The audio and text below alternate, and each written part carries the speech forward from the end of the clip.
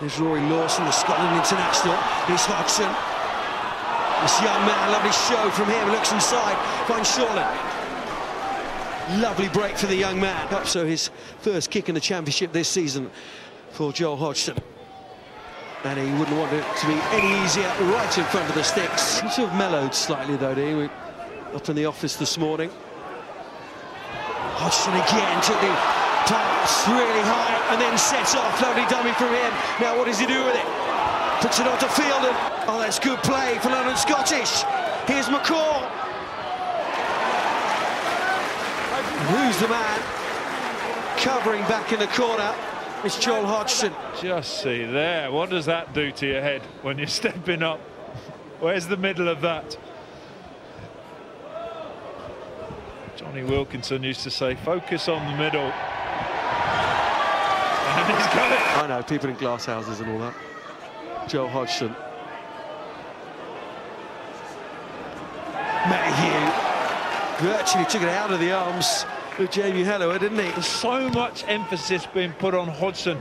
Very difficult for him to find the out, and that is a wonderful kick to the corner given those conditions. Funga that time. Hodgson looks inside field.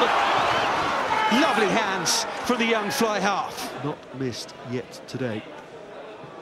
That is some feat in these conditions. And he still hasn't missed three from three. Penalty conceded. Joel Hodgson, attempt number four. Success number four. The coolest man out there on the field at the moment, the young 20-year-old. Hodgson